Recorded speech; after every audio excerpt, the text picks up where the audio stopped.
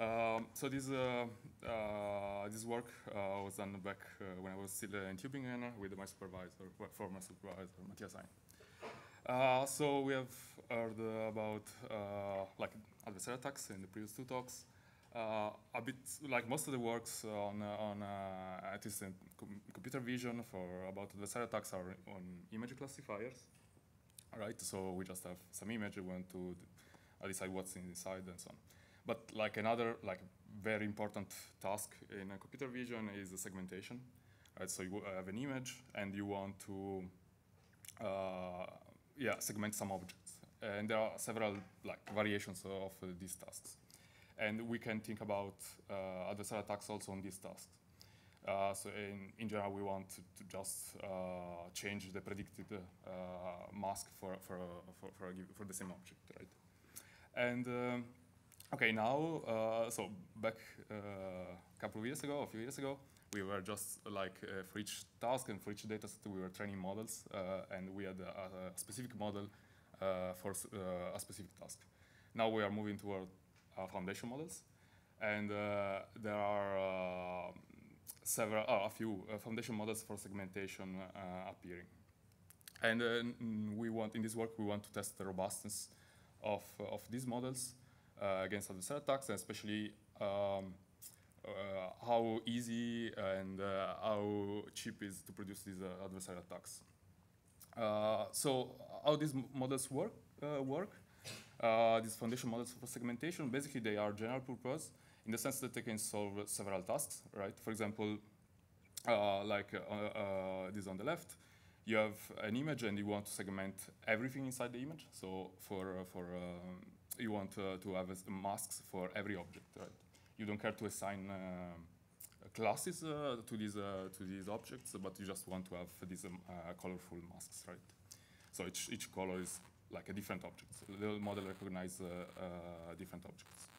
And uh, then you have like semantic segmentation is basically the same, but you want to also assign classes to each of, of these masks, like sky, uh, ground, and so on. Uh, and the second aspect of, of these foundation models is that they are promptable.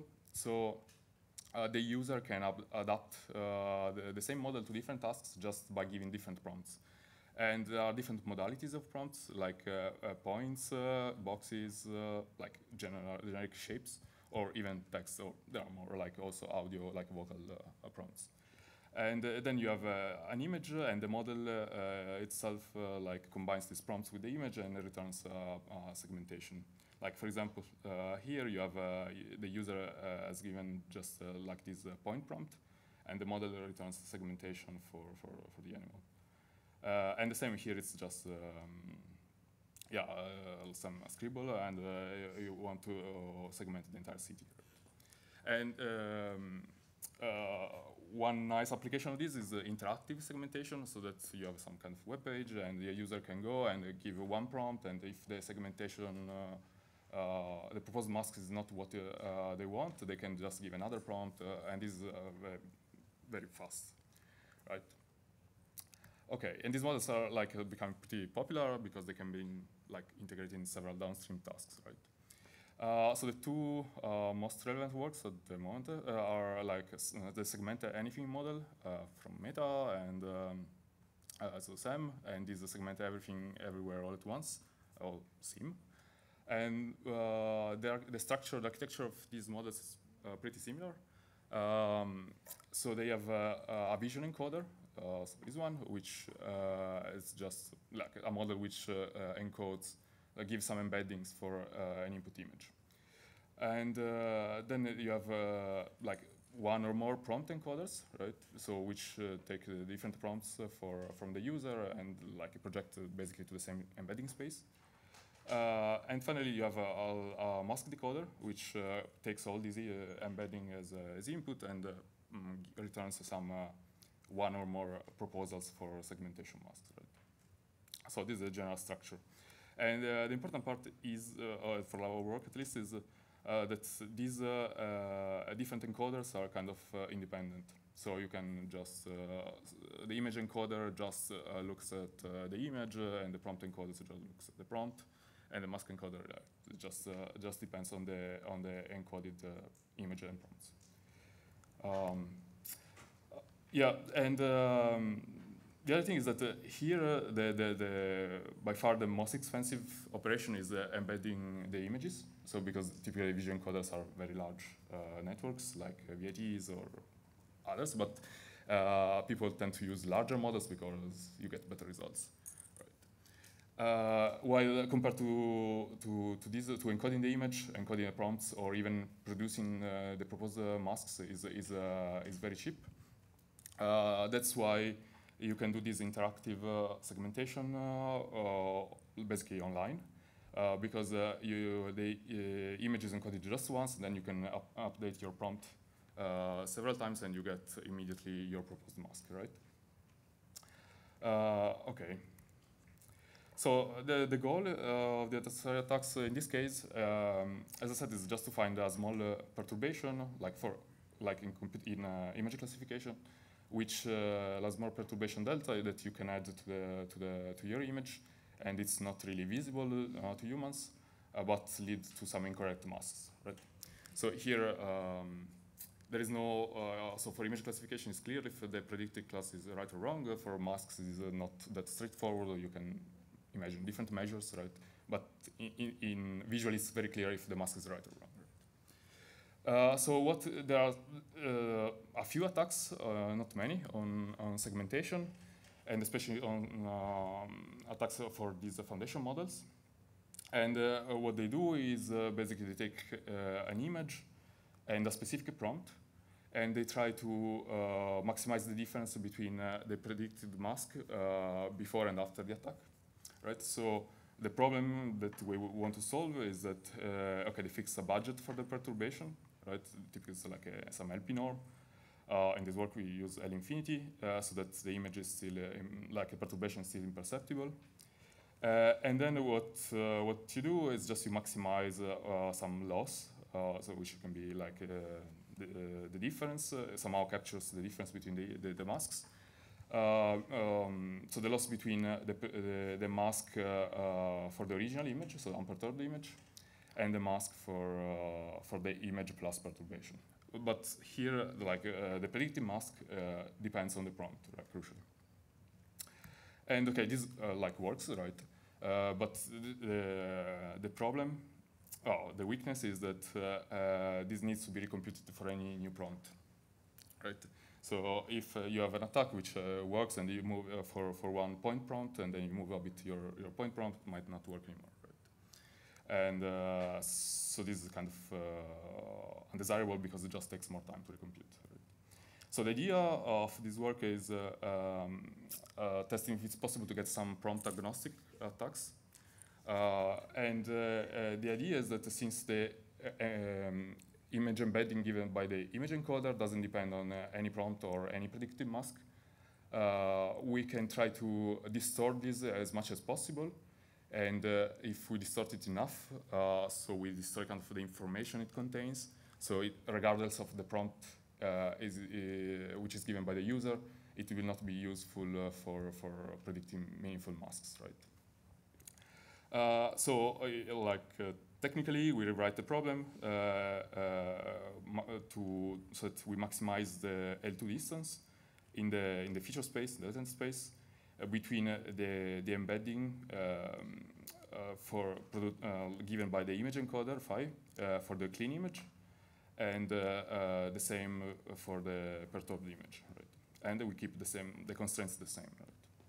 So here, uh, the, in, the, in this problem, we don't have any, any prompt and uh, any mask, predicted mask. So we don't care of, uh, of any predicted mask. Um, okay, so uh, like basically a summary is that we use exclusively, with our attacks exclusively target the, the image encoder, so basically just the part in the red box of the entire model. Uh, whereas the other, um, like a standard attacks use the, entire end-to-end uh, end-to-end um, model.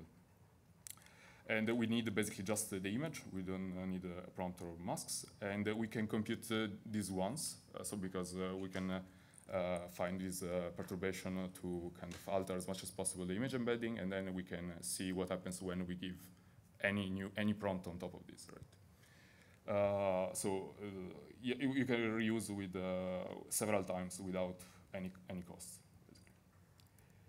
Uh, okay, some like the method is uh, for now is like pretty simple, right? We can just optimize, like uh, solve uh, uh, this problem with just some kind of projected gradient descent and with standard methods, right? We do for it L infinity, you just use 100 steps, right? Because we want to keep this um, cheap, computational cheap. And the main, the first task uh, we explore is uh, uh, the segment everything mode of, of SAM. So basically, we just given an image, uh, we want to segment every object inside it. And uh, so the prompt, does, uh, the user doesn't give any prompt explicitly, but the prompts are constructed inside the model itself automatically. And uh, so these are a set of images, uh, and these are the um, predicted masks uh, before before any perturbation, right? And uh, uh, here are the predicted masks for uh, when adding perturbations of size 1 over 255, so like very small, or 2 over 255, which is also like small. it's not really perceptible for most images or all images. And we see that basically uh, the, the, the, the, model is not able anymore to segment almost any, any object uh, inside the, these images. Uh, yeah, um, and this works, okay, if you go even like higher, uh, clearly you can destroy everything. Um, yes. So this was the first modality, right? The second uh, modality of, of SAM uh, is, uh, uh the second we test is uh, using single or multiple point prompts. so basically in this case, for example, we have um, a, an image uh, this is the original one, and we have this, uh, like the uh, green star is the mm, prompt given by the user. So basically the user says that they want to segment the object containing this prompt, this point. In this case, it's like the building and uh, then you can have um, like multiple of these uh, of, of, these prompts, and you can have also negative prompts, the, the red stars, uh, basically, it's uh, the same principle, just uh, in this case, the negative prompts say which uh, pixels do not belong to the object, which one wants to, to, to segment, in case to, to better define uh, like more complex objects, right? Um, and so on. And you can have like multiple of, of every type, right? and we see that, okay, when we have a single um, point prompt, okay, this is just a uh, quite an example, just one case, but we have more images in the paper. Uh, and we see basically um, like even very small perturbations are able to, to, to remove completely the mask. So here nothing basically segmented. Uh, then we, when we move towards more, uh, more uh, uh, like richer prompts, so more points, then it, um, the same, um, so the, for small perturbations, some um, parts of the mask are still retained. But what is enough to move to uh, with uh, to larger radii, right? So larger perturbations, and we still get basically no mask. Um, and 8 over 255 is still a reasonable budget, uh, like I would say, uh, it's kind of standard. Um, yeah, and the thing is that here for uh, for uh, every image, right, we just generate one perturbation for, and the, the, same perturbation is used across prompts, right? So it's all idea. Uh, here we can do the same, right, for, for boxes. So in this case, the, the user just kind of gives the box uh, to identify the object uh, uh, or the subject uh, which wants to be, should be segmented. And so boxes are a bit harder, right, to fool because kind of, in some sense, richer than prompt, than points. but still works pretty well. And like we observed that the, the predicted mask after the attack it still belongs most of the times uh, uh, to the box, so it's inside the box, but it's kind of complementary to the true mask. Right, so it's kind of the attack is uh, successful, and also it depends a bit on the size of the box. So there are like quite consi several considerations which can be done on on, on which types of prompts are more or less vulnerable to attacks. okay. Uh, so this is uh, as another example with the SEEM in this case, with the text prompts. So in this case, we just say like give uh, the name of of what we want to to be segmented, and uh, like uh, grass, sky, and so on. And, uh, and we see that basically even in this case, even on another model and on another um, uh, like modality, prompt modality, uh, the results are pretty similar. So in this case, some cases, um, the mask doesn't disappear, so the model still predicts something, but which is completely like random. Oh, doesn't have anything to do with with the plane. Uh, yes, uh, so these were, there were some examples uh, just to see how it works. so more quantitative evaluation. Basically, we take some like 100 images from from data set, which is, was also introduced basically together with SAM. And uh, uh, these images are annotated with a lot of different uh, masks and prompts. So, and basically we test our tax on all of the possible masks and, and prompts. Uh, and uh, we compute the average uh, intersection over union. So basically the intersection over union between the true mask or the original mask before perturbation, the mask after perturbation. So basically it's kind of a proxy for accuracy. So higher numbers means better quality of segmentation. And uh, we try test this across the type of prompts. And we see for clean images, uh, like uh, the model works pretty well, right? Um, and then as soon as we add the perturbations, so the uh, basically performance uh, degrades. And there are some, like, uh, as we observed, like uh, in, the, in the examples, like before, there are some differences across types of, of, of prompts, and especially as the prompt becomes more complex, so we go from single point to multiple points to box and then to box plus points. Uh, like uh, the effectiveness of the attacks uh, kind of gets like lower, which kind of I guess makes sense, and also clean performance improves. Right? But overall, we are able to reduce like quite significantly the performance across all, all types of prompts. Okay. And uh, yeah, the, the, this was done like all the attacks haven't seen any kind of prompt, right? So it's quite uh, uh, notable. Uh, okay, so far uh, we have um, considered the image-specific attacks. So we create a perturbation for each image. Uh, but a maybe more interesting and like more challenging uh, setting is uh, that of universal perturbations. So we want to have a single perturbation, which we can apply to uh, any image, and uh, it will basically uh, lead to some incorrect masks. Clearly, this reduces well, to zero kind of the computational cost of the attack, right? Because you have computed once and then you can reuse it for any image and any prompt. Um, so, and the problem is pretty similar to the one uh, we had for image-specific attacks. Just this time, we optimize uh, uh, the L2, so the distortion of the feature embedding uh, for not just for one image, but on a batch of images. And the one uh, like caveat is that images might have uh, different resolutions, right? So we cannot like straightforwardly apply a perturbation to, to different images.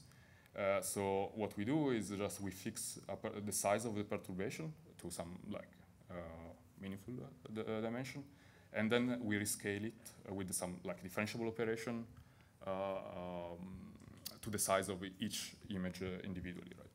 So since like this transformation G is like differentiable, we can optimize the attack through this this this inter like interpolation rescaling operation. And the setup is, uh, okay, here we need a bit, uh, so the problem is still solved with PGD. We need a bit more steps because it's more challenging. And we use 100 training images. So we basically generate these, uh, these uh, universal perturbations on 100 uh, images. And uh, we don't optimize this loss at every gradient step on the, all the 100 images because otherwise it would be easier to, to overfit. But basically, at each iteration, uh, we we compute the loss and then uh, like the gradient update on just 10 random images. So kind of to uh, improve generalization to unseen images. And then uh, how we test this uh, is actually, okay, we can just ch check the success on the training images, but that's not really uh, the most interesting aspect, uh, right? The most the more interesting um, uh, experiment is to test uh, the same perturbation on unseen images. And these are kind of uh, a bit uh, the results. okay, just a few examples right, which fit in the, the slide. Um, so here we have seen images on, on the left, right? So here's the original image. So these are, yeah, basically these are the training images. Uh, these are the correct uh, predictions, right? And these are the images after adding the perturbations of A to over 255. And uh, so here's the same perturbation, uh, and uh, still uh, basically everything kind of, um, almost everything disappears. And clearly this radius is larger than what we used for, or had to use for image-specific perturbations.